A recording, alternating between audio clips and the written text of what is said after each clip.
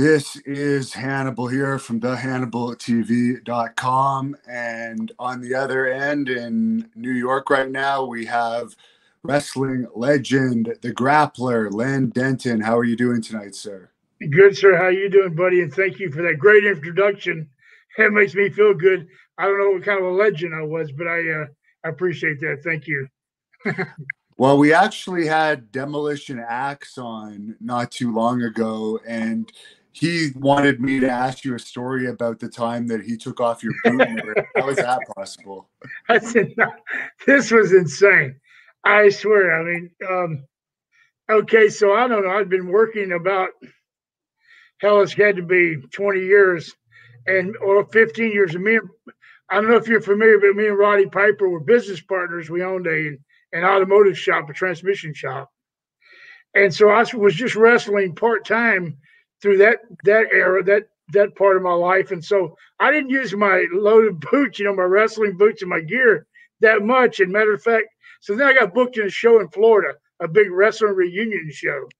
And so I got them out of the uh, garage and got the cobwebs off the boots and all the stuff and got my tights and went to Florida having a good time. And I'm working with Bill Eadie, of all people.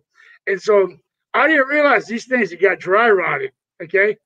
And so I remember they were really stiff trying to get them on and all this stuff. And um, I went out there and we're doing a um, we're doing a finish where you know, like I set up the thing where I said, okay, I'll load the boot, I'll shoot you, start, you, you know, you nail me, I'll cut you, I'll shoot you, and you catch the boot, spin me around, clothesline me, start untying the boot, and then pull the boot off, you know, and then um, once you get it off, I said, it's hard to get off, Bill, because you know, it's, it's a lot of strength. No, it's, uh, it's, a different type of boot. Got to get them strings really undone. I'll be pushing with my foot at the same time. When it pops off, I'll get up and the rest of the finish and all that. So we went into the thing, boss. and so he starts sometime and pulling like hell, and he's yanking. He thinks, "Well, really, this thing really won't come off." And I'm pushing my other foot, and, and the, the boot just actually right around the ankle just ripped off and he come right off my foot. He thought he tore my foot off. he, he stopped and just stared at me. I went, hit me with the son of a bitch. Don't just stare at me, Bill. And so anyway, that's if you'd have seen it, you'd have laughed your ass off. I mean, it shocked both of us. I went, what the hell? And so he goes, he took my loaded boot off already. He thought my foot was still in it. but it was a classic. I've never seen that ever before. How did you get involved in wrestling? Oh, brother, I um, I was uh, well, I was born and raised in uh, Humble, which is outside of Houston, Texas, and um, my uh, friend of my dad's was kind of interested in it. They used to go watch the Paul Boesch was a famous promoter, you know, down at the Coliseum in, in, in Houston every Saturday night, and everybody at that time knew him, who that was, and and so uh, he was interested in trying to get into it, and I kind of went with them to watch the matches, and then he ended up doing some construction work for Tiger Conway Sr., Tiger Conway Jr.'s dad. And so one thing led to the other, and then um, my dad's friend he didn't he didn't hack it, but I ended up getting into it. They didn't get me into it. They actually that's how it started. And then I went I went even tried lucha, which they had lucha down south there and a little bit, and I left there and went to another guy, and it led from one trainer to the next, and finally, I got trained in uh, guy named Nick Kozak was a referee for Paul Boesch. His brother Jerry Kozak was uh, running spot shows and stuff for the Funks in Amarillo. That's when Do- Dory was the world champion, and Terry, you know, they were they were big deal. They had they owned their own territory, you know, Amarillo, and so that was the first place uh, he got me. Nick got me booked there, and then I got there, and uh, that's how it got started. That's the first place it started for the Funks. What was the training like in Amarillo? They were known for being uh, pretty hardcore with their training. Yeah, I lasted two weeks and they fired me, so I was too small. yeah, that's what happened. So they wouldn't use me on TV. Uh, I just, you know, well, it's a, it was a big man sport at the time. I'm sitting in the dressing room with uh, Cyclone Negro, Abdullah the Butcher, Swede Hanson. All these guys are 360, 350, and I'm 17 and I weighed 189 pounds. and so they they wouldn't even put me on TV, you know, but they used me for a few shows, but it went from there. But luckily, um, um, believe it or not, Abdullah the Butcher uh, told me. I told I was telling him, you know, I was leaving once I got uh, fired, and he said, you know, kid, if you if you really want to try it, he said, won't you write a letter to Dory Funk Jr. And and you know, and ask him. He said he knows everybody. He's the world champion. He might can get you somewhere. And so I did, and think, and if it wasn't for that, I guess Dory felt sorry for me. And at that time, Bill Watts was taking over Leroy McGuirk's territory okay. and what he had. And so I ended up going there because he was hiring any guy that anybody that could wear tights at the time. And I ended up going there and then getting on the sauce and getting bigger and the story goes on and on, you know, different territories. But that's how that's how it all gets started, you know. Any memories of Terry Funk from those days, those early days? Uh, I was, you know, they were in and out all the time, and I was only there two weeks. I do remember, you know, I've seen him in other territories because I kept working from there. Like I said, luckily I got booked, but uh, Terry was just, uh, he was going 100 miles an hour, and that, and that was one of the days when he was really having some great matches, and and his brother was the world champion. So where I was sitting at, boss, was I was like a job boy at the time, so I didn't get to associate too much with those guys unless I was just doing a job for them.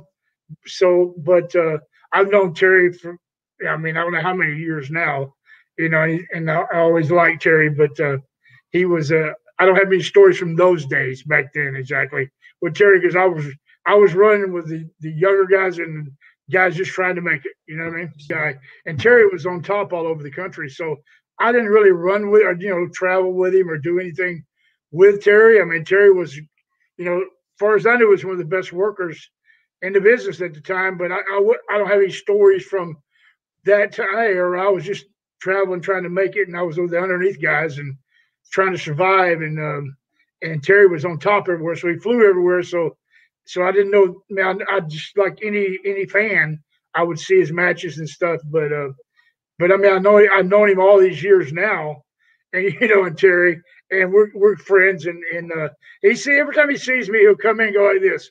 He'll look at me and I can Terry, cut that shit. He goes, Lynn Denton. Damn, where'd I know him from? Lynn, that's right, Amarillo. I go, you suck. He laughs and walks off, right? he still remembers me being there when I was 180 pounds, you know, little kid. James Beard uh, has a comment here. He says he loves you. Any memories of James yeah. Beard? James Beard's a good fella, man. You know what? He's a really good guy. I don't think I, I don't know many people that don't like James Beard. he's always treated me right, and he's one hell of a referee, too, man. You know. Definitely, and he's yeah. one of the matchmakers for for SWE Fury yeah. now. You you were yeah. there during their early days. Did you have it? Did you have many interactions with the spoiler over the years? Well, I'll tell you, I was with um uh, when I when I was re- wrestling. Um, I went from um, let's see, I went from uh, to Bill Watts. I said Mid South when he was in the early days when I was young, and then from there I went to Florida. And when I went to Florida, there was a guy, uh, Killer Carl Cox, and and uh, Don Jardine, the spoiler. They were riding together overnight, and so I got with those guys, and because Don was a ma- you know mask guy, right? So uh, he he was kind of a quiet fellow, but he'd give you some advice, and and Cox was uh, everybody thought was insane, crazy, but he maybe he was, but he had some good advice too about working. But as far as it goes to Jardine, we we didn't we worked together like I was an underneath guy and he was on top guy. But I do remember one thing I'll tell you about. They taught me I was wrestling in uh, there. We were in uh, I believe it was Fort.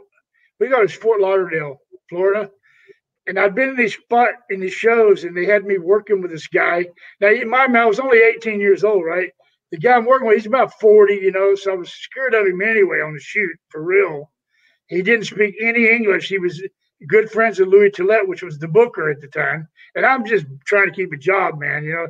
And so, so he had me putting this guy over, which is his friend, every night. Which I don't mind putting a guy over, but I'm not kidding you. Every night I would get a busted nose or I come back, my mouth bleeding, you know. And so one time, this is in that show. I, wrote, I happened to ride with Cox and um, and Don to the town, and so uh, I worked with this guy, and he did it, and I just had it. I'd had enough, you know. I just pot a crack, so I got up and uh, locked up when he when he, when he put his hands down. I just I didn't know if it was gonna work because I was just a kid, but luckily I nailed him right on the button and knocked his ass right out. Okay, he goes down, which was no big feat because he wasn't no giant or nothing. Right? But I mean, he goes down, and now what was funny about it, Sonny Myers was a referee. I don't know if you've ever heard of this guy, but Sonny yeah. goes, Sonny all of a sudden starts going, harder, kid, kicked the shit out of him. Because he had been watching these matches, okay, but not saying a word. And so I was so scared. Look, I got an arm bar. He goes, What are you doing? I go, Shit. The guy comes to. I had to work it, finish it, and put the guy over. Because I'm, I'm so scared I'm to get fired. When I got back, when I walked through the dressing room door, Cox grabbed me by the throat and slammed me against the lockers. It was high school. He said, You little chicken shit. He said, Thank God you finally found some balls. Don't ever let nobody abuse you like that. You know? And he said, You don't belong in our business if you do. And Jardine was right there with him. And on the way to the home, on the way home with those guys, they really, you know, read me the right act and gave me a hell of an education. If you can't, you know, you can't take that and try to survive and be somebody in this business and take that from people. And so I learned a big lesson from Don and Carl and stuff like that. And, you know, st- so they helped me out. So he was a good guy, you know, but you know, that's the way the business is. You either you're made for it or you're not. You know what I mean? You got a comment here from Dan Masters, the ring announcer at PCW Ultra. He says that he loved being produced by you in Portland and Vegas for TV. He appreciates your advice and he hopes to catch up with you again soon. Maybe you can party and he won't get fired, whatever that yeah, yeah. I remember him. Yeah. How you doing, buddy? Good to talk to you. Yeah, yeah. I, you know, um, you, you don't want to party and just get caught and get fired. Sometimes, but anyway, that happens, brother. Believe me. But uh, you you'll get another job. Don't worry about it. there, there's a fan on here that would like to know if you have any crazy Iron Sheik or Andre the Giant stories the Sheik, I don't have much on. You know, I mean, I know how he was, like everyone else, and I try to stay away from him. but uh, but uh, but Andre, I do, and uh, this is one that when I tell people, I actually was just telling someone this the other day. It's to me, it, it I, couldn't believe it, and uh, and I love both these guys, but I couldn't believe how ego would get in people's way so bad. We're we're in a spot, you know. Andre would come in, you know, he's a novelty and so, especially over there in Louisiana, they put him in these spot shows because these people, I mean, unless they get a ticket to go see him, they're never going to see him the rest of their life. And so it, it, sells out. It packs the place. You know, the Giant's going to be there. So we go and uh, it, we're in a six man tag. It was me, uh, Dick Murdoch, and, and Orton Jr. against Junkyard Dog, Paul Orndorff, and and Andre in a six man in a spot show. It should be like a cakewalk. We got a night off you know, but no, no, we go. And so we go out there and we, we, you know, we do the spots, we get the bay faces over, and then okay, it's time to get heat on someone. Now think about this: who would you pick? You pick are you going to be Orndorff or Junkyard Dog or Andre? And so, well, I figured Paul because you know they're really pushing the shit out of Junkyard Dog. He's a he's a key player here in the territory, right? He's a franchise guy, and so I said, well, well, I try to stop Paul. I nail Paul. He nails me back. I said, "Sell him!" I hit him. He I suplex. He jumps up, suplexes me. I shoot him over the top. Go throw him in the post. He picks me up, throws me. I go, fuck. I go tag dog. So try dog, right? Can't get dog to sell. Finally, this is no kidding. Andre got so pissed because he, you know, he was a good worker. I mean, psychology was. He goes, tag me in, just like you hear him screaming corner. They tagged him in, and I'm in the ring. He goes, he grabs me, he goes, he, and he says, boss, back me in corner, load the boot, and let me sell. I went, what the fuck? so, so I did. I kicked him, and he staggered out about two or three steps, and like that big old giant was, he go, oh, he dropped to his knees, and he fell forward all the way down on his face. And the start, can you believe that we got heat on the giant and gave them a hot time? wow. This is totally, totally ass backwards. Okay, but when Andre came back, I could hear him chewing their ass out in the dressing room.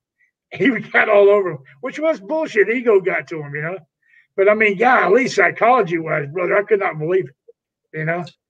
Did so, you ever get the chance to drink with Andre? Oh my God, brother. Yes, yes, I did. I um a lot of times it was one particular time, you know, when he would fly into a place, if he liked you, you know, like like he knew me and Murdoch, and he'd go, I want Lenny to drive me. You know, because he knew I had a Lincoln or whatever. But not only that, he wanted he wanted you to. If he had to, he rent the car. He wanted you to drive him because you drinking partners. So Andre, I, me and Murdoch had been out drinking for the last two nights, and I was just hung over when Jackson, Mississippi, and that's where Andre flies in to start his two weeks and I'm hung over as hell. And so I come out, and Andre's on the face side, and, and there's like a big uh, open uh, roll up door between us where he, the fans are. So he, you know, back then it's kayfabe, and he looks at me like this. He steps back, he goes, "Boss, tonight, me you," and he goes like this, right? and, I'm waiting. I'm stretching out and fixing to ring the bell because I'm in the semi against dog, and I'm like, "Oh my god, he's stiff as shit. I got a hangover, and he wants to go drinking again tonight." And I go, oh, I said, okay, boss, no problem. I came back, I, I got I took my shower and haul ass back to Baton Rouge. And I went over to uh, to um, Black Bart's. He had a trailer rented on the, across the, the thing here in Baton Rouge. And I didn't even go to my own apartment. Andre found me. Brother, he found me. I wish I never would have done that. He he made me drink he took me, went to After Hours Club, and that last time, last thing I remember, he was holding a mug, and he's like, "Yeah, I, don't remember drinking it." I was about to fall out of the chair. He said, "Never run from me, boss man." yeah, yeah, brother, he could drink. Believe me. Oh, he'd kill you. Now, speaking of Black Bart, how credible do you think he is, in your opinion? You know him better than I do. Uh, I did an interview with him, and a lot of people were questioning some of the statements he made. What's your opinion on Black Bart? You mean as far as his storylines and stuff, his stories? Yeah. Yeah. I tell you, I tell you this, boss. Bart was with all the guys you're talking about. He worked with all of them. Now, I don't know. I mean, I heard all his stories. I don't know how far out he goes with them, but um, but I know that he, as far as the as far as the talent, the Road Warriors, this that he was in, he wrestled, he made trips with all of them, and he's been all those places he's talking about. No, no crap there. But I mean, but uh, you know, you Black Bart is like uh, that's Black Bart, brother. What a character! Yeah, I love him to death. Don't get me wrong, but um, he's I I don't know for an example of what what you think saying, but but I know what you're, you're asking me, and uh, all I know is he was with all the talent he's talking about. I don't know if he exaggerates how bad things were or how small things were. Sometimes I don't know. There's a fan on here, Jack Jerry, wants to know why you never wrestled for WWE. Oh well, what happened was um, I was I'd been wrestling whenever whenever Vince Jr. took it over, and he started shutting everybody down, and he and he started the WWF right. Um, I'd already been working about sixteen or seventeen years, okay, and so uh, whenever he shut Don Owens down, which who I was booking for. I said, you know, we're going to close to 18 years, and, and I had two little girls. They were smaller, you know, and and and I'd been gone. I'd made trips all over the world already, and uh, and I told uh, I said, you know what? Whenever this is done, I'm going back to Texas, take my family, and because I want to see these girls grow up. And I know if I go to WWE, I'm going to lose this wife and my family too, just like the first one like I did on the road for 18 years. And I go, I ain't doing that bullshit again. So I go, and so then I went, and so then I got was going to come home, and then Piper called me and says, Hey, you know what? And he says, I always want to open a small business, and you're the only guy I trust my money with. He said, I trust my family with you. And he said, You you name the business, I'll put the money up, we'll open it up. Stay here in Oregon. And that's I did because they, they didn't want to move really. They'd been there so long. And so I go, well, so I stayed. I got three, uh, two calls from from Michael Hayes offering a contract and all that later down the road, and I turned them down because I gave Roddy my word that I would pay the place off and I wouldn't take off. But but that's why I never made it. That's why I never went. What was the business that you and Piper were involved with? A transmission automotive shop. We had an automotive shop. Yeah, I was trying to, you know, I seen so many guys like me that would. That's all they did. I went right out of high school, never had a real job. I was a pro wrestler, and got lucky enough to, to have enough talent to make it, and made a living doing it. And they at the end they have two cents to rub together. You know what I mean? Because it so I said, you know what? I got while I can, I'm gonna get out and try to at least pay this place off. Maybe we can start a franchise. Maybe we can do that's what you know the big plan was, and then um, and have something besides just nothing. You know what I mean? And so that's yeah. that's why that's why I did that. I know I could I could have went to Vince and maybe you know I could have broke my leg the first day I was there. Who knows? And I'd been put on the shelf. But I might have went there and made some good money. But then I'm never going to be home. And here I'm looking at my watch. I go, here we go again. You know, like I said, no, I'm gonna I'm gonna go a different direction. So that's why I never went. You know? How did you uh, How did you click so well with Roddy Piper that he would be close enough with you to trust you, being business partners? He, uh, um, me and Roddy was, um, you know, I met him when I was uh, well, I was 18. First time I met Roddy, you know, and um, we just was in same territories together. And I, I don't know, you know, how do you? We just got to be friends, and he trusted me, and we went through a lot of things together. And uh, he seen I was, uh, I would stand up to my word. If I gave him my word, I'd be there.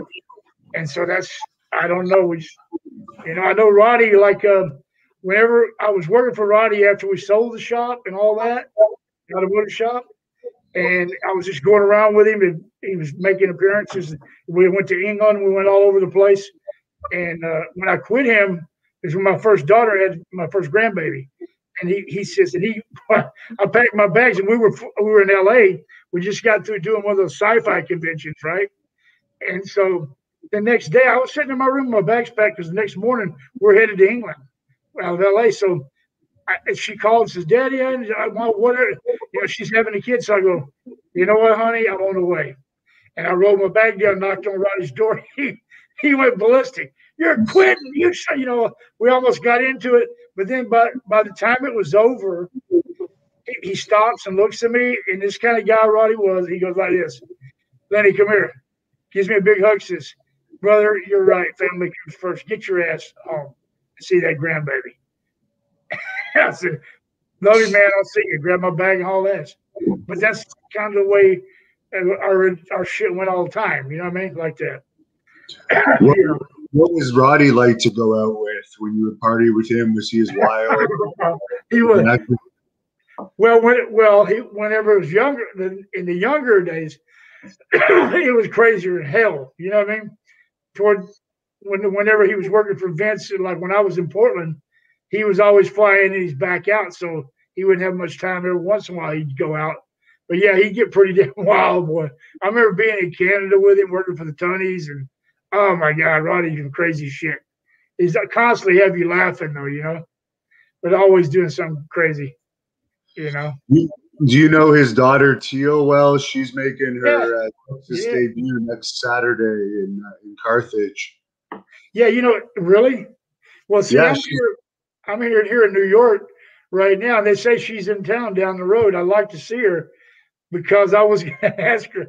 I mean, I never dreamed she would get into it, you know. But uh, I'd, I'd, like to see her. Yeah, I knew her. Ever since yeah. a little kid. She's she's starting for SWE, and I'm I think it's going to be for more than just one shot starting next weekend. So well, that's good. That's good. Yeah. You James live in now.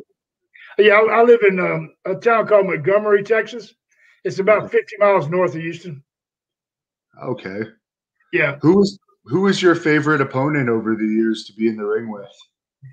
Oh, boss, I had a bunch, but I'll tell you, uh, I would say uh, Rick Martel was such a good brother. What a night off, unreal. Uh, uh, uh, what's it? Uh, Rick Morton. Ricky Morton was good. Uh, you know, um, um, let's see, uh, Ted DiBiase. We had great matches. Uh, also, um, trying to think, uh, Tommy Rich. We had great matches guys like that. There's a lot of them. I, I had good matches with Harley too, Harley Race. Hardy was like a really serious. I mean, you got to get down and dig, but he, he, he was he was really easy to work with. You know, easy. Why did everyone say Harley was so tough? Well, because uh, some of the things he done, you know, like he knocked the guy, the biker out. He wrestled uh, in Portland, and there's some two or three bikers knocking him and sitting at ringside. And this is a shoot. Dynamite Tommy Billington, Dynamite Kid, told me. He said he was there. I wasn't there on this, but he goes, he says Harley goes. He wrestled. Uh, he told him he kept giving him shit during the match. He tells the guys, "Hey, if you guys are if you're so tough, wait till this is over, and when the people leave, just stay here. I'll make sure they don't throw you out, and let's see what you got." And so Hardy wrestled about 45 minutes, and then did the finish and went back, got his towel wiped off. Says, "Guy, this guy still is he ready?" He said, "Okay, tell him to get in the ring." Hardy got in the ring. The guy come in, he dropped him, knocked him out right one punch. Boom, got on, and you know, so he would would do you know, he he had he had some uh, he had some balls. He wouldn't. Uh, he's pretty tough fella. You know what I mean? But uh, that's why the, you know he was a man and he stood up for what he said. You know, I never seen him get beat, but I'm sure you know someone could beat him. But I'm just saying I never seen him get beat. You know. John Falsetta says he remembers you well from World Class. What are your yeah. favorite memories of World Class? world Class. I I like I liked uh, World Class. Uh, uh, I like the territory. Of course, it's Texas, of course, you know, but we used to have some fun. There's a lot of good guys working there, you know, and it was uh, uh the Von Erichs sometimes it was, drove us crazy because they're always pulling shit and causing problems. But but the territory was great, man, you know, and all the guys working there, uh, you know, it was it was easy. They paid cash every night. You had to wait on a check. It was it was one of the boys if you want to go and party, it's one of the boys' territories, man. You know what I mean? it was made for the boys, you know. Yeah, it seems like the Von Erich boys did their fair share of partying. Oh my God, brother, unbelievable! Yeah, unbelievable. Yeah, but um, thing is, they were so well known and they were so well over. Even though they couldn't work with shit, they were so well over that they had a microscope on them. You know and so they they didn't know how to handle that. They get caught doing everything. You know? There was a fan on here that said they saw you wrestle Goldberg. Is he is he ribbing me, or did you actually have a have a match with Goldberg at one point? No, I worked with Goldberg. Yeah, yeah, I did. How did that come about? Well, I well, I was okay. I was talking about the shot right with me and Roddy. So, yeah. so we were about um, eight or nine years in, and I already had the place down to where I knew I was going to pay it off. And so uh, everybody, that's when they started doing the switch over to WCW, and everybody right. was getting these big contracts. Of course, I'm still in the business. I know everybody, and they're calling me, Lenny. You need to come get some of this gravy, boy. Uh, you know, these guys are handing out contracts. What are you doing sitting on your ass at the damn transmission shop? You know. And so um, I decided, well, hell, maybe I'll see what they'll do. And I and I went over. This threw me, man. I went there, you know, and I've been working. I told you how long, eight, 17 years, 16. I went over and go, okay, you got uh, this is your tryout match. I'm gonna try out. I started laughing. I said, Hey, first of all, I was in the business before all you guys were telling me I gotta try out. so that's okay. That's what we do nowadays. I go, okay. And thank God they give me uh, uh, uh, Eddie Guerrero. I said, brother, they, that's another one I should have mentioned earlier. I couldn't have got a better guy to work with. I mean, he's like, and so I went, this is my tryout match, Eddie Guerrero. I said, thank you. And so we had a hell of a match. So then Bischoff coming to me says, okay, we're going to sign you for two years, give you 150 a year. And I know you have the transmission shop. You only have to work like 10 days a month. I went, serious? I said, where's the paperwork? Holy shit, dude. Let's get it done. So I was all happy with it, you know, but it didn't it didn't come through. It didn't happen. So I don't know what happened. I still don't know who said what or whatever. But after about a month and they still said they're getting things together, I finally went to Terry Taylor and I said, Hey, brother, I got a family over there. I got a business. I said, somebody needs to get off shitter and just get something going, or you know, I can't just keep flying from one place to the next, you know, and all that. So he goes, and then after that, I got a notice that this is your last book. and so, but before that, I went to TV and um, they had me on an off TV match. To answer your question, I got way off. I'm sorry. It's an off TV match. And um, so I'm talking this. I don't know who this guy was. A guy, maybe you know, he's a, he's a black fellow, but he was huge. I ain't never seen a guy this big. He was, I mean, like six, seven, but he was ripped. And I don't know where he, he's like from Nigeria or something. I don't know who he was. I haven't seen him again. So I'm, they said, I'm working with him. I said, oh, shit. So I set him down. I mean, he's a really nice guy. And I said, well, I need to, let's talk this over. This guy's to kill me out here accidentally, right? All of a sudden, Jimmy Hart comes up and taps me on the shoulder and goes, hey, they need to talk to you down here. I said, who does? Kevin Sullivan. I said, oh, okay. I knew what was coming. And that's when Goldberg was on that streak where he was yeah. beating so many people. I went, oh, you got to be kidding. I said, okay, here we go. So I went down there and Goldberg sitting in a chair and they go, listen, we went, I said, okay. And so that's how that happened, you know. And so I, went out there, it's like a squash job. I jumped him, bam, bam, bam, here we go, jackhammer, or do the spear, the jackhammer, and away we go, you know. Would so, you imagine back then that he'd still be main eventing uh, pay per views all this time later? No, I did. I thought he was after he quit there, got whatever happened when he took off from WWE. I figured that was the end of it. You know, when he started doing the the movies and trying to do the other things. But now I didn't. I didn't think he'd be back. But I didn't think he needed the money to come back. But I don't know. I don't know. Apparently, it's three million a year for three matches a year plus bonuses. So. No, yeah, that's not too bad. you know, boss, I was in Kansas City when I did that. I think it was Kansas City, and I I'm not exaggerating. They had like an an 18 wheeler rig, and they said, man, they had sold out of uh, t-shirts of his that night, and they wow. had like half of that pack with. I said, they sold all that shit. I couldn't believe it. So you know, I don't know what he makes on merch too. You know, unbelievable, right? Damn. It's also an issue that they don't have any new stars, so they have to use guys like him that were older, that were over in previous eras. Yeah, they did that with Piper and all Snuka, all those guys forever, trying to build up other guys, you know. But yeah, they need to make definitely get some.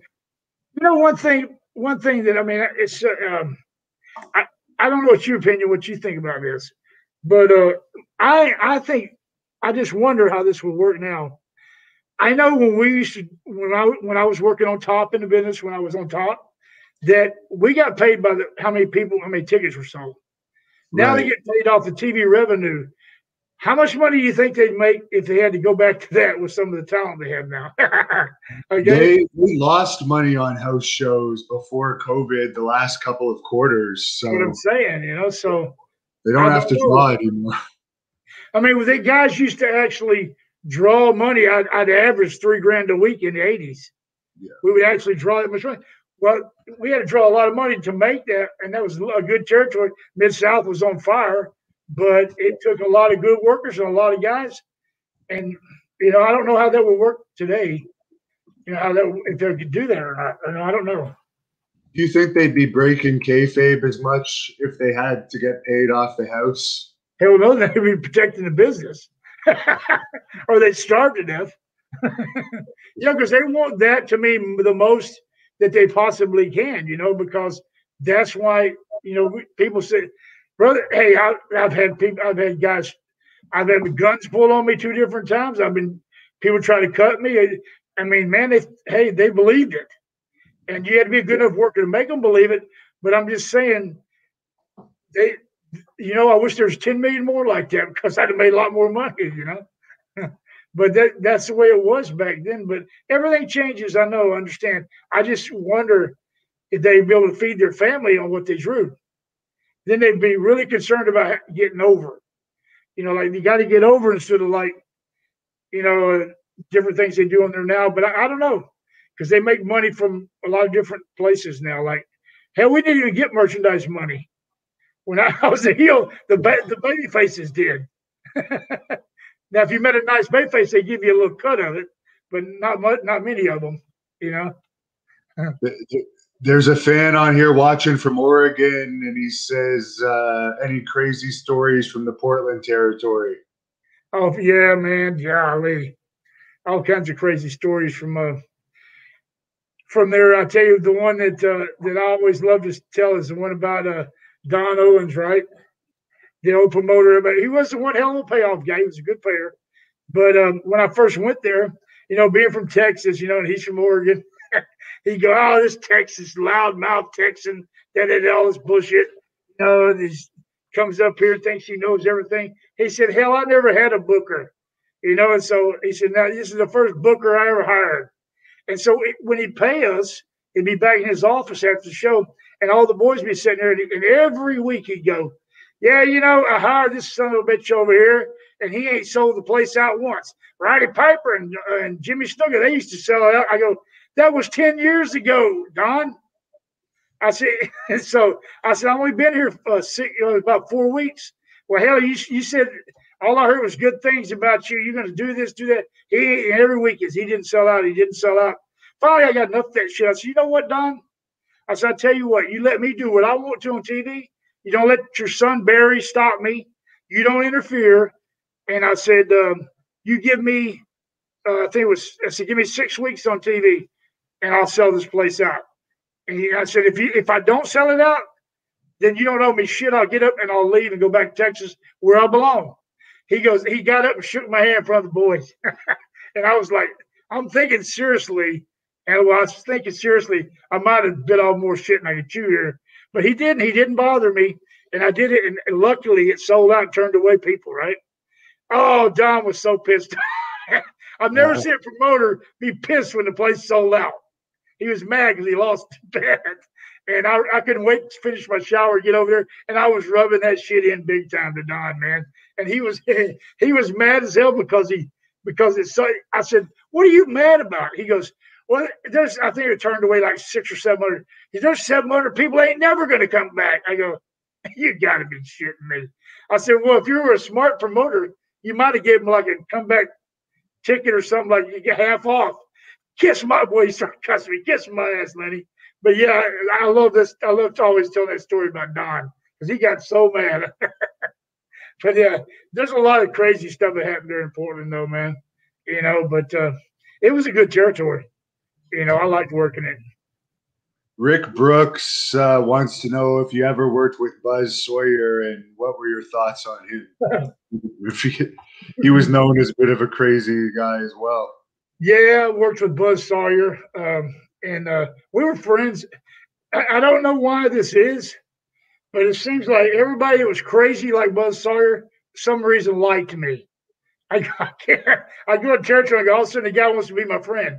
The psycho, right? And so, but Buzz, Buzz, a lot of times he he worked that bullshit, but he but he did he would get crazy. But um, I remember one time him and Matt Borne, right? They were they. This is back before I was even the grappler, and he had, um, you know, Buzz had this big wrestling background from high school and college or whatever, and Matt did too. And they teamed them up in Charlotte, North Carolina. You know, the, for the Crockett's, I was working there, and they they kept hurting guys. You know, in tag matches, they had them tag, and they kept hurting. Everybody was like, "Man, these guys, this shit and that shit." And so we were working, me and Swede Hanson. You know what I'm talking about? Swede Hanson. Swede used to be an ex-pro boxer back in his day, and so they they uh, they worked with Swede and somebody the night before and hurt his partner, and so this night we're in Raleigh, and and uh, no, it was yeah uh, one of those towns. Anyway, it was me and Swede in a tag, and Swede is over there, and uh, he started taping his hands up like a boxer, and I go, I'm looking at him, and he what he, he, he calls the referee uh, over Tommy Young. He goes, "Hey, you go over and you tell them two greenhorn bastards just for me. Okay. If they hurt Lenny or they hurt me with any of that bullshit they've been doing out there, all that suplexing or whatever think they're doing, he said, I'm gonna knock not just one, both the son of a bitches out. Okay. And he kept taping his hands up. And I tell you, ten, within 10 minutes, they were both over there going, Hey, Swede buddy, look, you okay, man? Like apologizing to Swede. That's their. That's their. Yeah, they didn't want to mess with him. But see what I mean? It's like all of a sudden they was really, all of a sudden they weren't crazy no more. They yeah. do to get knocked out, right? and so that's what I'm saying. And sometimes they work that crazy stuff because they get away with it, you know. John wants to know what was in your loaded boot. well, I've heard everything in the world. Uh, the best one I ever heard was this, and I went, "Damn, you know that might work." I, don't know. This guy come out one time and he goes, "Grappler, you son of a! I know what you got in that boot." He said, You got mercury, and when you tap that toe, it warms up and all the mercury goes to one end, and then you knock the hell out of Junkyard Dog. I go, Damn, that's a pretty good one.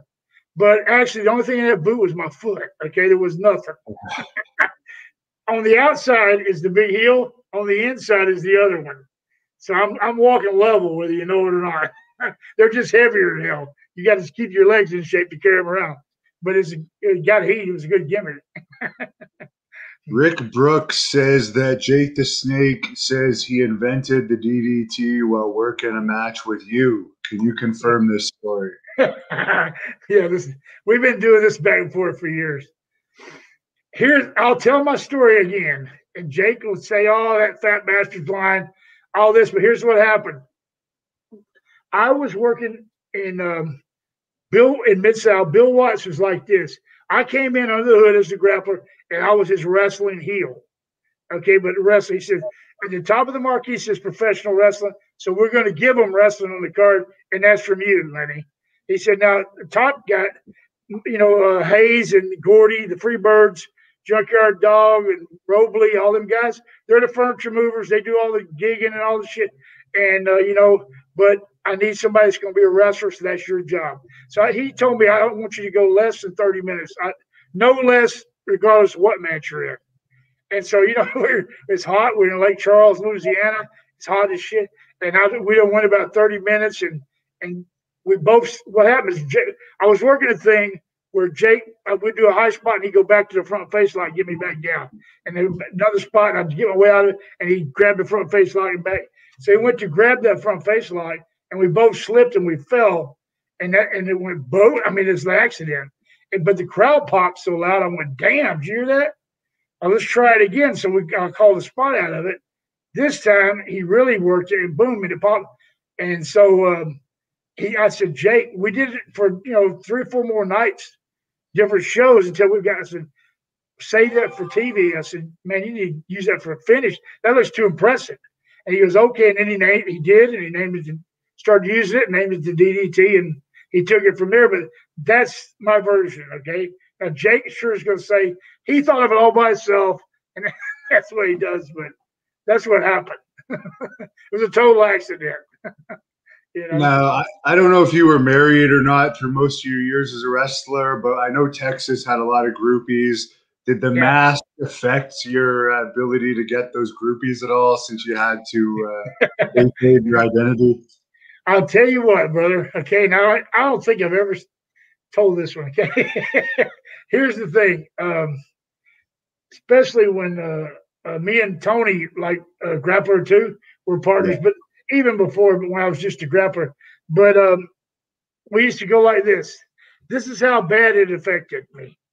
Okay, I would go wrestle, and then as soon as we come back, you know, the big thing about wrestling is like um, in those days your tights better be clean. You better not stink when you come in that ring because that's what we do for a living every night. So if you come in there, you get your ass whooped in the dressing room for smelling bad, you know, like your tights are not clean or whatever. So as soon as we come in, yank the tights out of the bag, wash them in the in the in the uh, sink or in, the soap, and then uh, and hang them up and let them dry. That's the first thing you do. Put your beer on your ice, da da da. So we do that almost every night, right? And so we we come in and get the tights, and Tony go, I got the beer, put the cheese in the window for the rats. And so I take my loaded boot and put it in the window of the hotel, and they drive around and see that boot, knock on the door. Every night, put the cheese out for the rats, Lenny. I take that big old boot, stick it in the window. That's where the grapplers are. Every night. and I guess you just keep you keep the mask on, I guess. No, well, not all the time. not all the time. I guess you didn't have to worry about cell phone cameras back then. No, you didn't, brother. Oh my God! If we, if we did, I'd really been in trouble. What were some of the things you did to keep your identity a secret? Well, I I, I would do. Um, of course, when you you know try to leave a town, not let nobody catch you. Go to a different store when the other guys go to to get gas or beer or whatever you're doing. All that normal kind of stuff. And but we're on the road so like every day almost. Back then when I was doing that really heavy, and so the people they couldn't. It like you're saying. It wasn't like now. It wasn't like hell. I, you, there's no way you can do it nowadays. There ain't. I don't know how you would unless you wore it 24 seven. Hell, somebody can catch you. You know what I mean? But back then it was easier to do. You know what I mean? Michael Collins says Raven has spoken highly about you as a mentor. Do you keep in touch with him, and do you re- feel responsible for any of his his success? Uh, I um, I don't keep in that close in touch with him, but every now and then I hear from him. But uh, he was uh, he came in and, and, and, me and Piper actually put him on the show and tested. He did a good job. And I, I tried my best to, to help him out. And you know, he was he was hard to get to at first because he had such an ego, but then he learned and he changed a lot. You know, he changed a whole lot. And then he started getting good good at what he does, you know. There's a fan on here that wants to know, in your opinion, who are some of the guys Greg Gagne could have beat in a shoot? could have beat in a shoot? Yeah. Well, he still couldn't beat his dad. was, but I'm saying he was, um, you know, I, I, was, I was only, I tell you, I worked with Greg Gagne one time, and that was in St. Louis, and uh, it was in a tag. I never was around him. I don't think he was a big shooter. Not by any of the guys in Minnesota that I know told me. you know, like uh, like uh, Rick Rude and, and, Scott Norton and and the Road Warriors and John Nord were all friends of mine. I don't think he could have taken none of those guys. and so I don't really know many guys could. I know one thing. When I went in the ring in St. Louis, I went like this, and I was only joking, but I was just messing with Tony. I thought the guy would laugh, and that's when him and Brunzell with them, the flying or jumping, whatever, something, right? Yeah, high flyer. And, and so then I go like this. I go, I said, um, "What is the guy that uh, the guy that um, uh, Lawler dropped on his head? Andy Kaufman." I, said, I said, "I go." So they go to ring the bell. I, I, I kind of threw my hands. And, Come on, I'm gonna fight. I go. I told the referee, "Get this Andy Kaufman looking bastard away from me." A joke. He he he got so pissed. He he wanted to fight me. I said, "Calm down, motherfucker. It's a joke. I don't like you call me that shit." of oh, course, boy. we call of course, we called him at the rest of the match then, you know, both of us. but yeah, he, he didn't like me saying that. But that's the only kind of thing I've ever even, that's the only time I was around him really much. That one little thing in St. Louis. Dan Masters is back here. He wants to know if you have any memories of Ole Anderson. Of Ole? yeah, I know yeah. that piece of shit. yeah. No, Ole was Ole was hard ass on everybody, man. You know? And um he he uh he was the same way he was the same way with me too. You know, everybody he didn't give nobody a break. He uh, him and Watts screwed me over. Watts got pissed because I worked a show for my dad in Texas, and it was close to his where his TV came in. And so I'm leaving, going there to Charlotte, and they made this big story up about they were going to give me a push in Charlotte, and I and then Ole they start, starved me out of there. All kinds of things. He's getting stories from everybody you talk to, and none of them's good. But uh, yeah, Ole was uh he was one of a kind, man. I laughed my ass off one time because we had, you know, like not, like in Texas now, the big snowstorm. They had yeah. one like that in Atlanta, Georgia, right? And I'm working there, and every Monday we to go get our check, and that's when he worked for Barnett, you know, Chip Barnett. and so, and Ole was the booker, and he goes, um, so everybody they couldn't go get their check. It snowed so bad you couldn't drive over there, and so um, so he goes, so like, like I think it was like Tuesday or Wednesday, we made some show. We're doing a show in a spot show, and he said, "Hey, did you get your check? Did you, so you guys go by Monday, you know, to get your check and stuff like that because it was locked up." So yeah, yeah, we went by a couple of them. Said they had a note out there that said, uh, "Pick up your checks on the show Wednesday," but it was written in the snow and it was in uh, it was in uh, uh, Barnett's piss and Ole's handwriting. That's how much the boys thought you, okay? yeah. How is it in Houston now, anyways? Is it any better? Yeah, yeah, it's clearing off now. Yeah. It's just that it's just that the water, you got to boil the water and all this. I don't know what to deal with the water issue, but everything was screwed. That screwed everything up. And then they're, they're coming down on them about the the electrical grid wasn't even up to date. Hadn't been up to date for hundred years. But they've been really taking all the taxpayers' money, you know, charging the hell out of everybody. So I don't know, man, what's going to come down on that. But everything's yeah. going back to normal now. Yeah. Oh, I'm coming back there next week, so I hope it's better. Yeah, it should be. On, on the plane uh, today, they were going, guys, I, can I get a Coke? Well, we don't have Coke. We're out of Coke. We all this stuff. We're out of a lot of stuff because Houston just had a bad week. That's what they said. We got deliveries on nothing. so by the time you go, it'll be probably straightened out. Yeah. Ivan Santos wants to know how was working with Bruiser Brody. Stiff, stiff. but no, Frank was a good friend of mine. But Frank was this type of guy.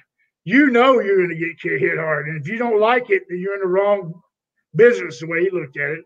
You know, one time I remember Frank. You know, he, uh, we're on Dallas on TV, and they said, "Well, you got Brody. Brody was the booker, so he goes, "You got me tonight." I go, "Let me guess, Frank. Shoot him in, big boot to the fucking head. One, two, three. I drop the leg. One, two. He goes, "You got it." And so he goes off, right? And so I'm sitting there thinking, so you know, I know what's going to happen. Frank's just going to beat the hell out of me and then pin me. I said, hell with this, eh, because I ain't never seen nobody do that. I don't know what made me think I could do this, but Frank come in, they rang about. I attacked Frank, locked it, went back in the corner, and I chopped him like five times as hard as I could. And back then I was in pretty good shape, hard as I could in the chest. He's he's he's taking, he's looking at me like, what is wrong with this fucking guy? So finally, he, he knocks the shit out of me. He's blocking, hit me, and he gets a headlock and took me over. And he said, call high spot. And he wrestled a match with me like he was guy my size. And he went ahead and had the match. We did high spots. And then when I come to the back, he goes, You know why I worked with you? Because you had balls enough to stand up. Everybody else just lays down. That's the way Frank was right there. You know? You know. How did you take his uh, death when you heard about that tragedy that took place? Oh, brother, I uh, I, I, hated it just like everybody. I hated it, but um, I know how Puerto Rico was, and um, you know, it's like uh, they, it's kind of their own country. You know, it's so. I mean, I don't know the whole situation was going on around that deal, but uh, I sure did hate because Frank was he was a friend of my dad's. You know, he knew my dad before he knew me, and and we were friends and we weren't close, close, but I hate to see anything happen like that to a friend of mine, you know. But um, that yeah, it was the shits. I thought, you know, I, I know his wife was his wife he left, and she's so nice and so friendly, you know. It's like, I hate to see that happen, you know. She's too nice, unfortunately, to fight very much for justice. Though she probably could have uh, fought a little harder for justice. But yeah, yeah. Who knows? You have a female fan watching Tracy. She wants to know if you ever wrestled in Hawaii for Lia Maivia. yeah, I did. I wrestled um, a bunch of times. Actually, we were the. I was a heavyweight Hawaiian heavyweight champion one time, but um, uh, let's see, I forget what year it was, but and then me and Tony went over there and we wrestled tag team together as a grappler too. Uh, a bunch of times. I wrestled in the Hula Bowl in Hawaii when they, you know, with the Japanese office and stuff like that. And um, yeah, a lot of times I work for me, Lia. A few people have been asking if you ever wrestled in Japan. Yeah, I wrestled three different tours. Two for Inoki and one for uh, a company called Wings. Back, okay, I remember that. Yeah.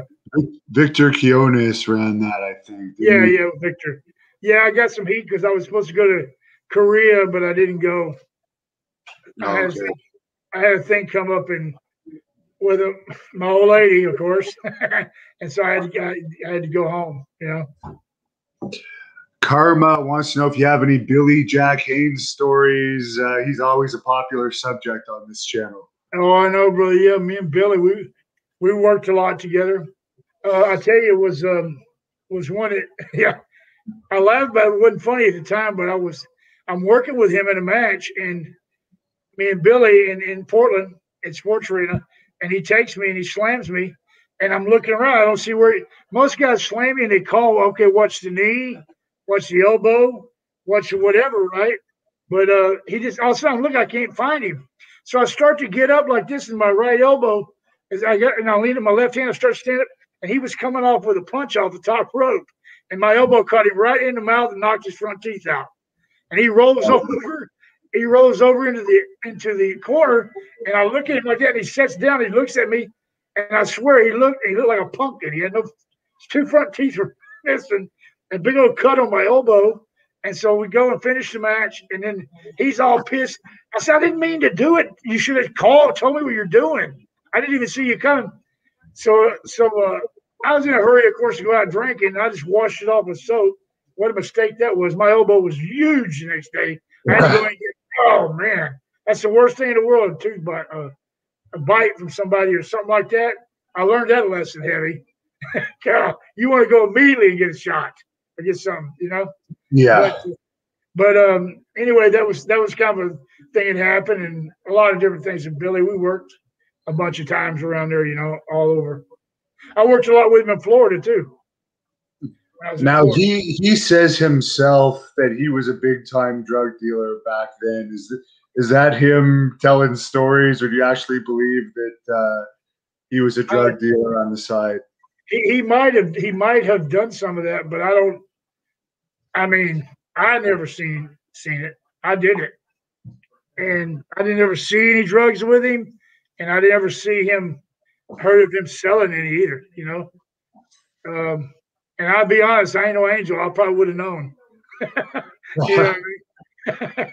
so I didn't hear nothing. You know, I don't know. Dynamite Kid was also popular in the uh, Oregon territory. Did you have much contact with him over the years?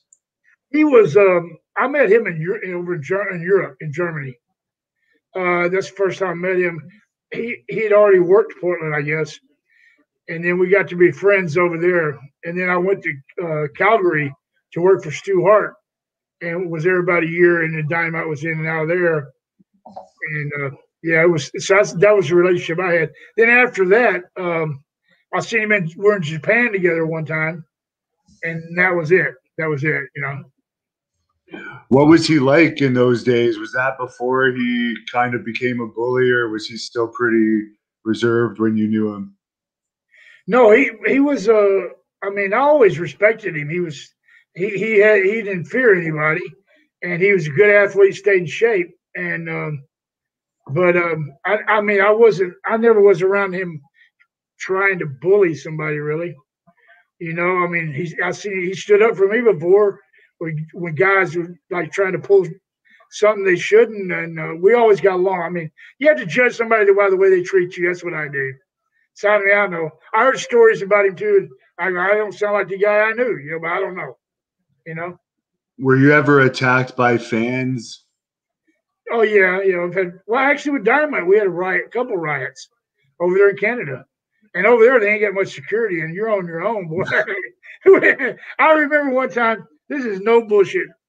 Is it was at Red Deer, Canada, and they start hitting the ring, yeah. and I'm like, damn, we're just trying to get to the dressing room, and we're trying to keep people back, and we finally get to it, and we're holding the door. There's no security. We're holding the door with our shoulder, and it's like like you see in the movie, like they're trying to knock the door down, and they keep booming, boom. We're holding the door, and finally, I said, Dynamite goes, I swear he went like this. Hey, Mike. I said, what he goes, we got to go back out there. He said, we forgot to challenge him for next week. I went, fuck you, dude. I ain't going back out there.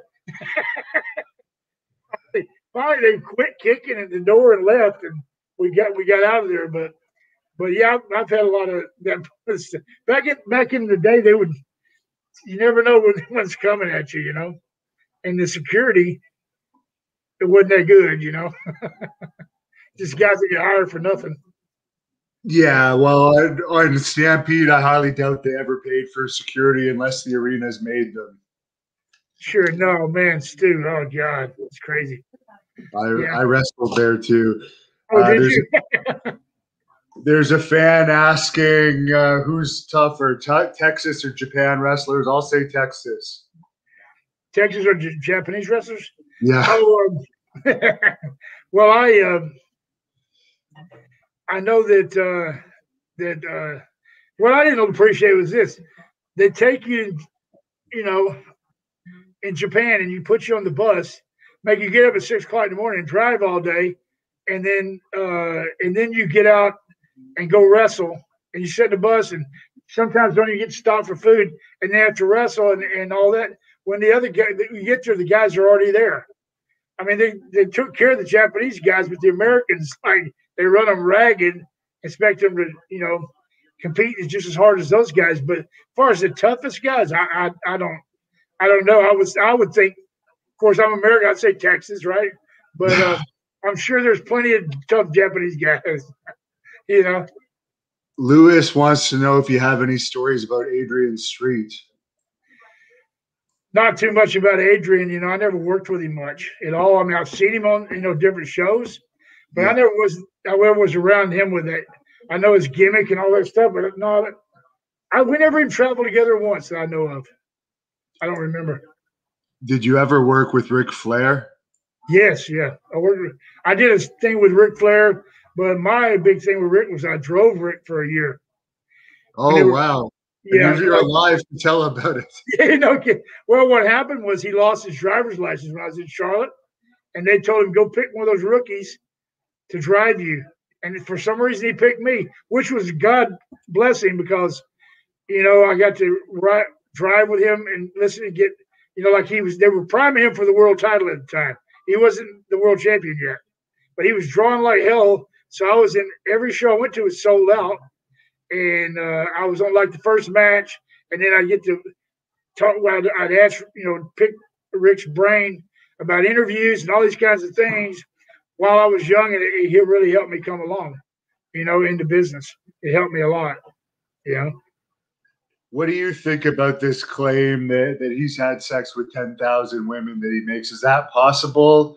well, driving with him a year, you would what on average in a day would he have sex with in a year? Brother, I, I was with him for a year, and uh, he's he was like uh, he was everything was moving too fast. I mean, I I didn't stay in his room.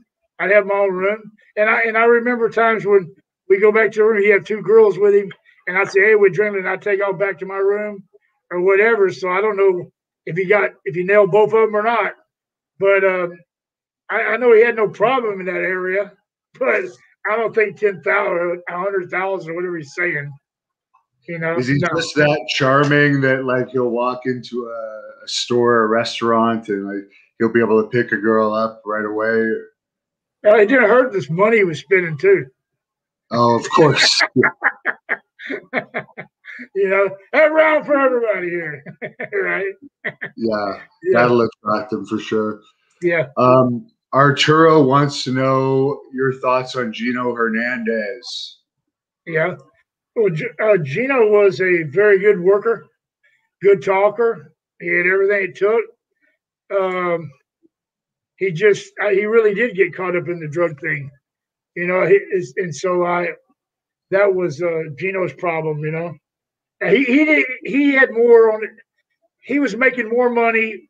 Uh, that wrestling was a secondary thing to him. You know, he didn't care if he's booked or not.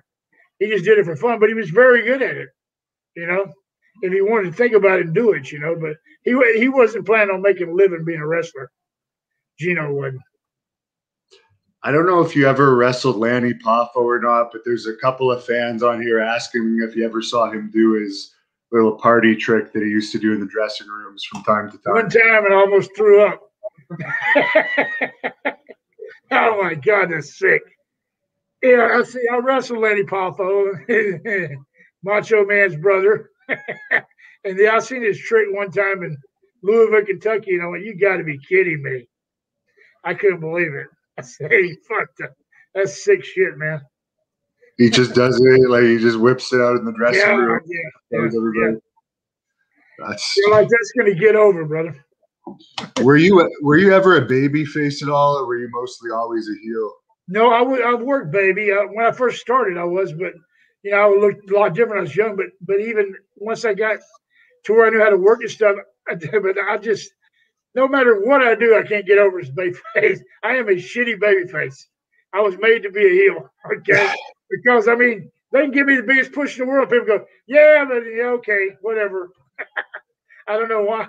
Just, no matter what I do, you know, I, I don't even feel good doing it. You know what I mean? That's just not me. You know, I'd rather be out there thinking the match a different way. You know.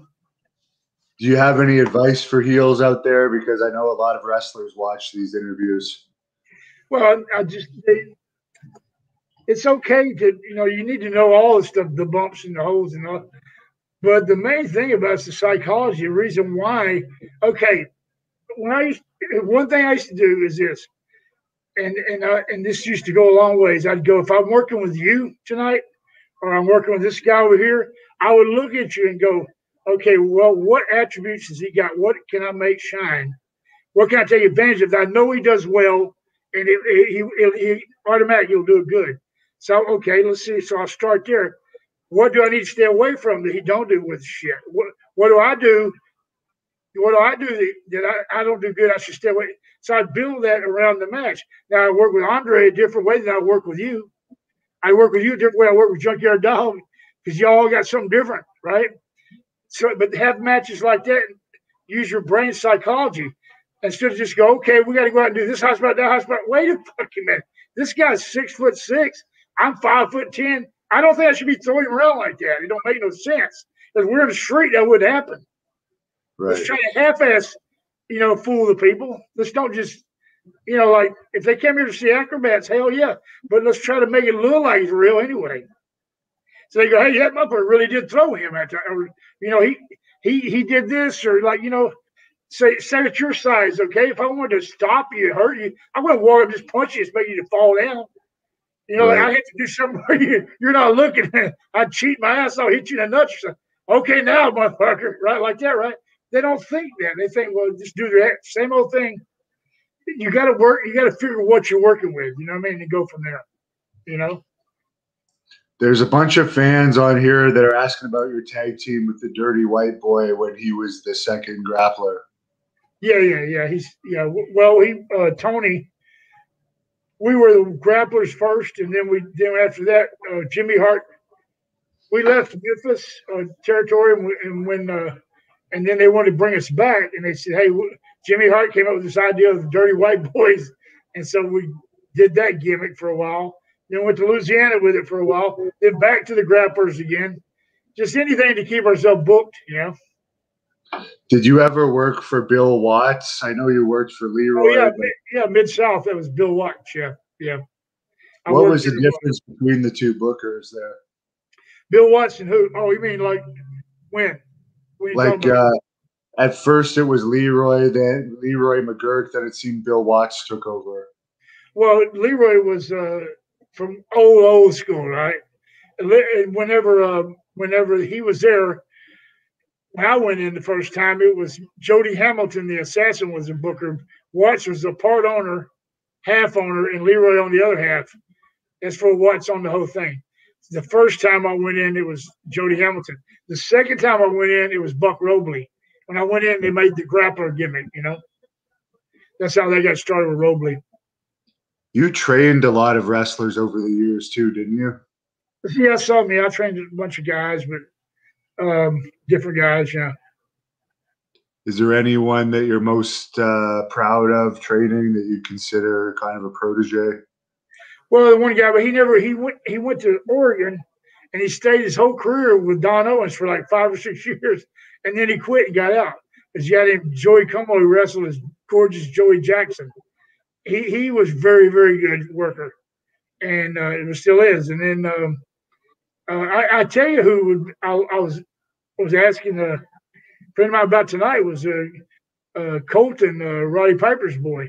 I trained him, and uh, and you know, but I don't know. I guess he's not pursuing it anymore, and I haven't heard of him. So I'm yeah.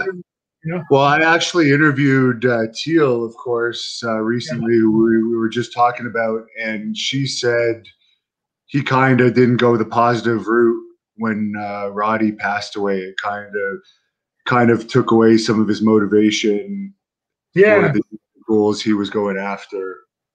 Yeah, yeah. I don't know. I, I tried to call him honestly a few times. He calls me Uncle Lenny. Okay. I tried to call him and text him, and it was very strange. He hasn't answered me back. You know, I just it makes me worry about him. Is what I'm saying. Yeah, well, when I when I see his sister next week, I'll uh, Please ask her to tell him to get in contact.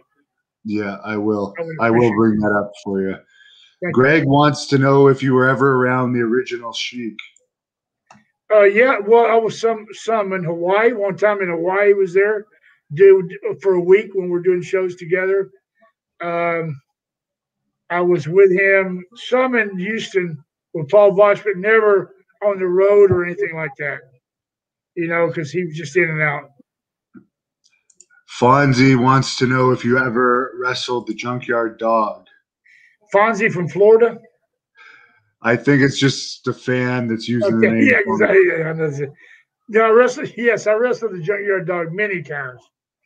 Yeah, I sure did many times. How was he in the ring? I, I know he was over like crazy, but a lot of people was say he was. there's a perfect example right there, boss. Is dog, you know, he had his things he could do good, but he wasn't a great worker. But he was over like a million dollars. So you take advantage of his good points and you stay away from his bad ones. Okay. And so that's how you work a match with him. And when I had dog, I'd go like, oh shit.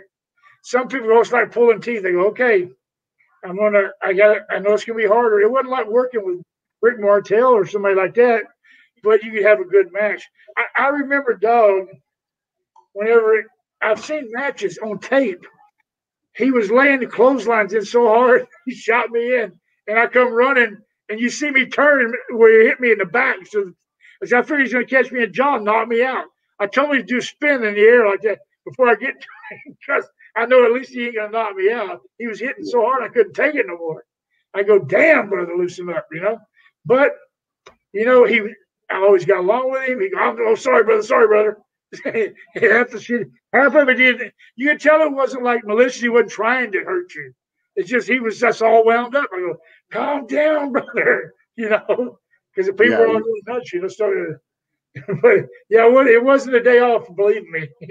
But you know what? You made money with the guy. You know. Trev Clark wants to know how you came up with the name the Grappler. Well, I was um, well in Charlotte at the time when it, whenever uh, the Flair thing, you know, and then every now and then Flair would go, well, he's flying out of town and stuff like that, so I'd be on my own. And I was riding with a fellow named Don Kernodle. He was a worker, Don Kernodle, and Yeah. uh, okay, and he was a big uh, uh, Greco-Roman wrestler and all that in college, and he was really good.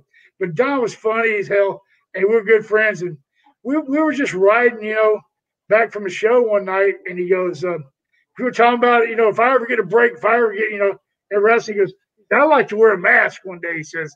And he goes, I said, would you say? I said, I never did. I, I did a little bit, but I don't like it that much. He goes, well, I said, what would you call yourself? He said, I'll call myself the grappler because the grappler in Greek means wrestler. I go, really? so the next day I get a call from Buck Robley in Louisiana. He goes, we need a wrestler here. We need a wrestling heel. We heard you're a wrestling heel. I said, yeah, I am. He goes, and we heard you wear the mask. I said, yeah. He goes, what do you call yourself? I went, the grappler. That's exactly, I just remember what he said. That's exactly how it started. I said, he goes, that's a pretty good name. Okay, we'll call you the grappler. And he said, so they then they, they give me a starting date. He said, I'll call Crockett because you're just doing jobs over there anyway. And so that's how that all happened.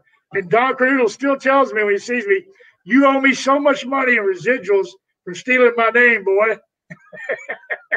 he still tells me that. You were the uh, booker in Portland for a while, weren't you? Yeah, yeah. Whole time I was there, five years. Yeah. How did you get that role? Was that off of the story you told earlier where you ended up selling out the house and then they just kept I you going? was, uh, I was uh, booking. I booked for Harley Race and Bob Geigel, and Bob Geigel was a good friend of Don Owens and Harley Race, and so I went to when I was done in for Fritz over in Dallas. Right, uh, I'd been there about a year, and it was time for me to go, and uh, and so um, um, and so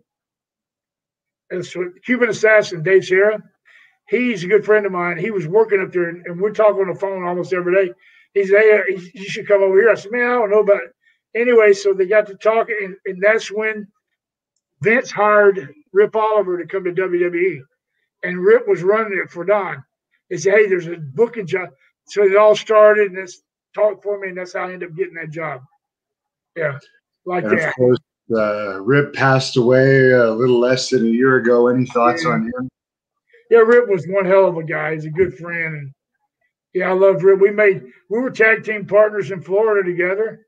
We're champions there. We were, we worked all over the country. We broke in. We were both broke in about the same time. We're rookies in this business together. I know him a long time. You know, he's a great guy, man. We got the SWE Fury Wrestling TV show checking in, saying hi, Lenny. Hey, buddy. How you doing? you like what they're trying to build in Texas uh, with SWE? The no, I really, I really do. There's some good guys, some great guys there, and they they got their heart in. Those guys, man, they worked their ass off over there trying to keep that show together. It's a lot of work, I know, and uh, yeah, I am. I'm proud of them, man. I, I hope, I wish them the biggest and the best they can do, man, because they're giving a lot of guys work that would have work, and it's also they're using talent from all over, and, and it's and it's getting over. You know, it's getting over because uh, they're getting to see stuff they don't see with WWE. You know. As a booker, uh, I mean, SWE's going the opposite direction. They're going old school, but you watch the television wrestling now, and it's it's pretty hard to watch for the most part. Do you yeah. think anything could be done to to save it? Or do you think it's just going to keep going that direction and maybe other territories are going to pop up? I think that it's going to keep going that direction because as long as as long as uh, the sponsors, the, the, the like uh, the, this paying Vince, are paying the TV time, and all those people are happy with what's going on, they're going to keep pushing in that direction. As soon as they, they're not going to try to go back to supporting wrestling you know, they're, they're just all about networking TV and, and money off TV time, which is a good thing to have. But it's like when it comes to wrestling, it's not going to, you know, and, and it's so hard to compete with them because they got so much money already in it and already backing it. You know, you'd have to have a guy, even the guy, what's that? I can't think, never think of the name of that promotion. Khan. The one that owns the football team. Yeah, you know? or Shad Khan or something like uh, that. So, yeah, even him with that money, I don't know, you know, if, if he's going to even come close to where Vince is at. You know what I mean?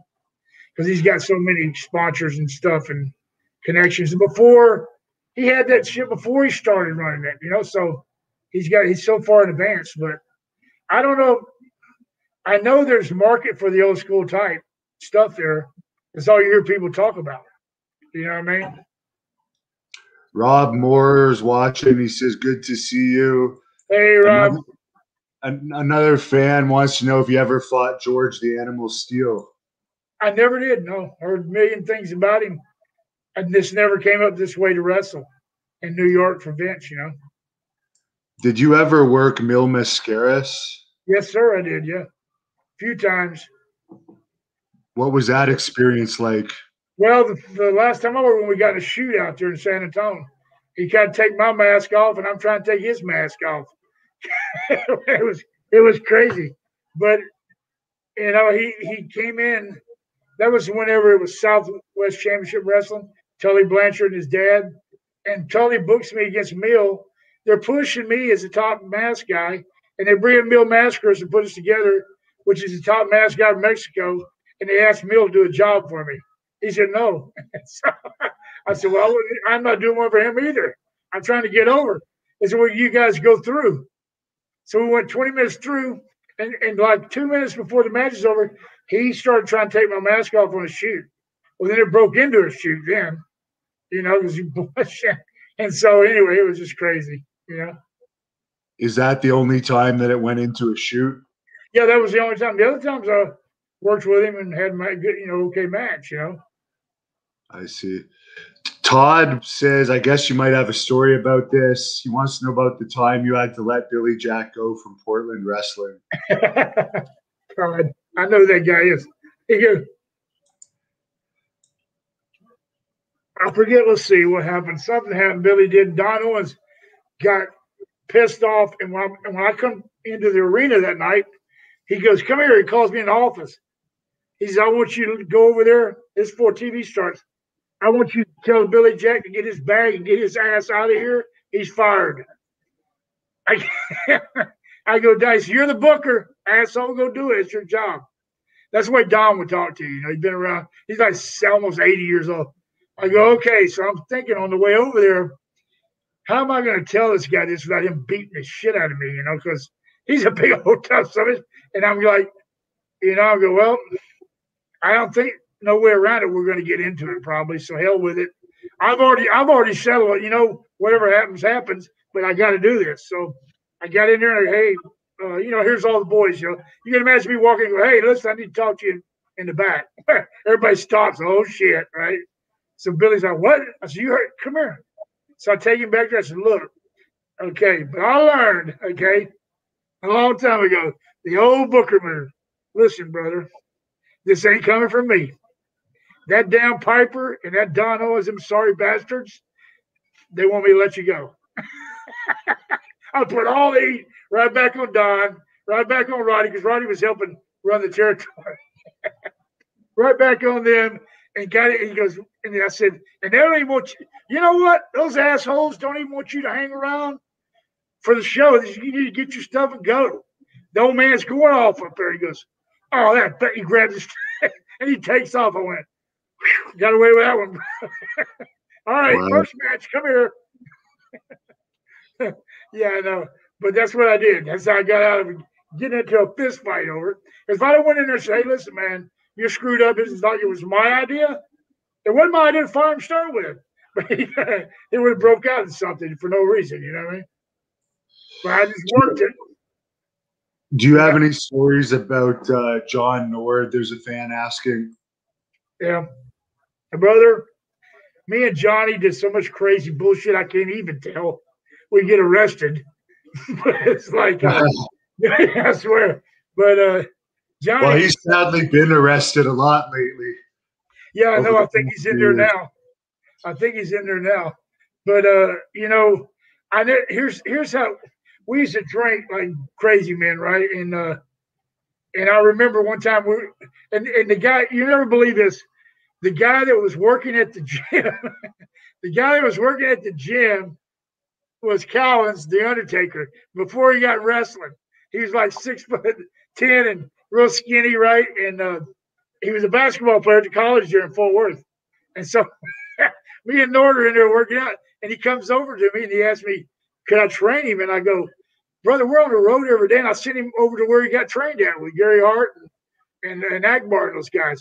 But anyway, he was in there that day, and me and Nord hung over. I mean, we're hammered, hung over, and we're doing. We're sitting on the on the um, on the ground on the mat, carpet, and we're doing uh, pull downs, right, with the lap lap machine.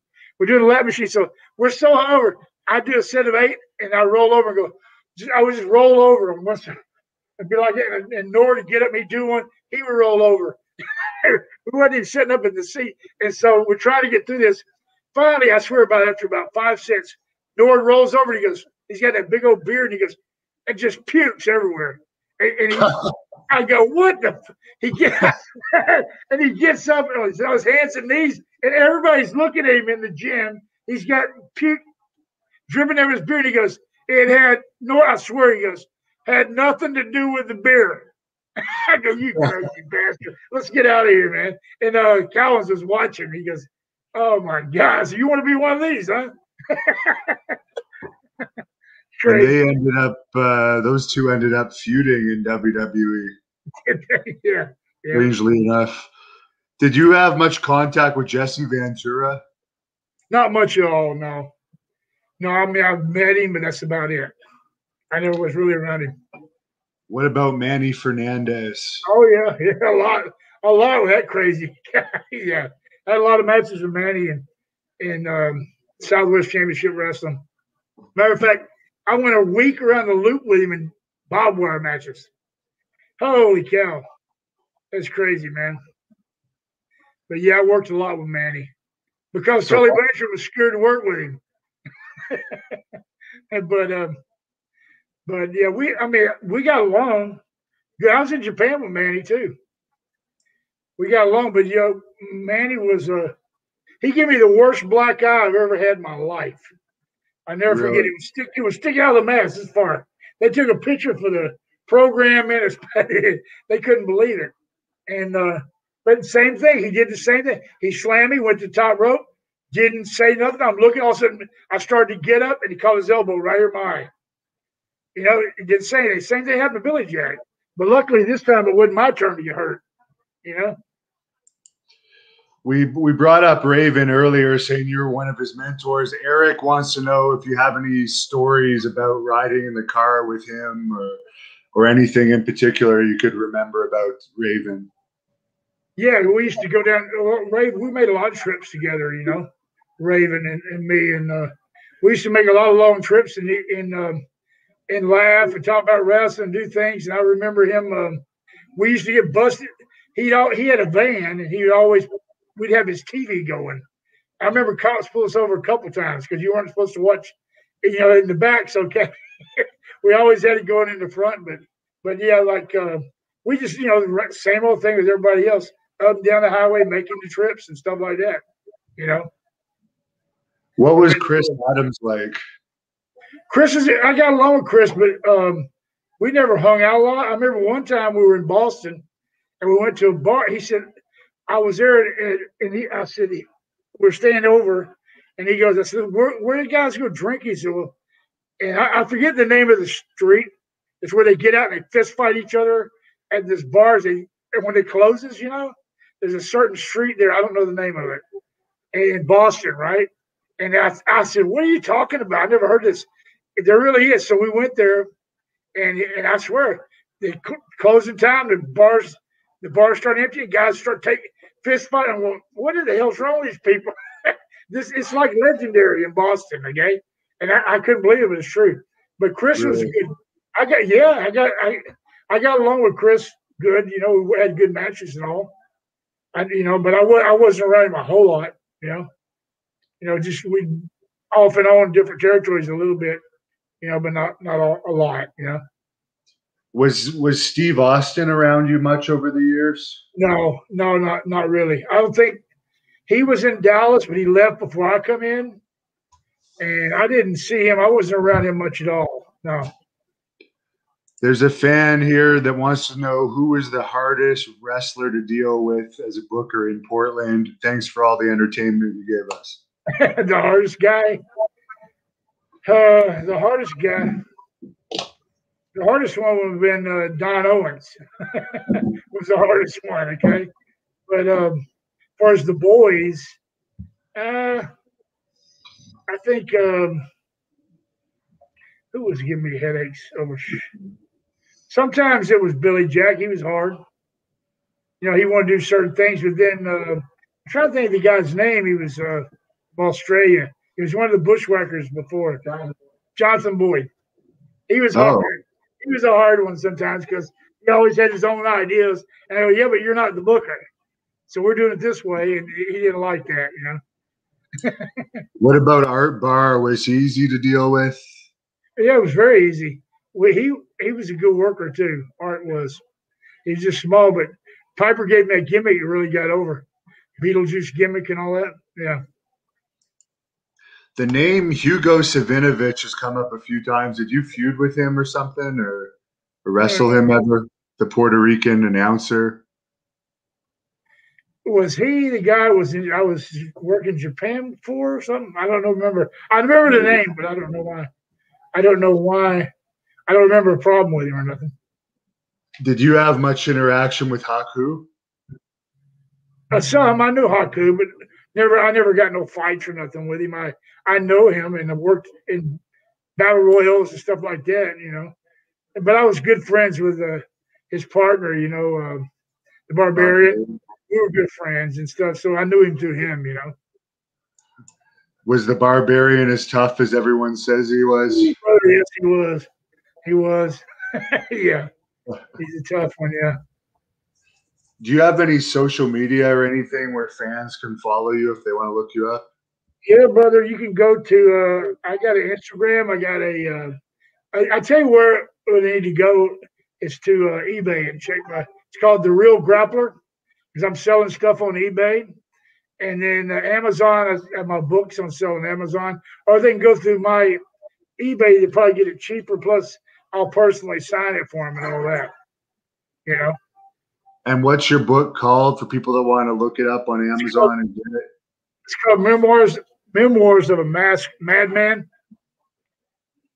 Oh, let's see if I can show you here. Yeah, pull it up and put it on the screen. There you go, boss. Cool. Okay, okay, got it. Yeah. That's uh, what's that sound? What the hell is it? What is this? Captain Hannibal, here we go. I didn't recognize you with that man bun instead of the captain hat again. Oh, well, I don't need the captain hat because guess what? I want everyone to see the man bun of gold back here, okay? I want everyone to see it. I want everyone to enjoy it and appreciate it. Once you should again, borrow one of his masks. It would be a great improvement.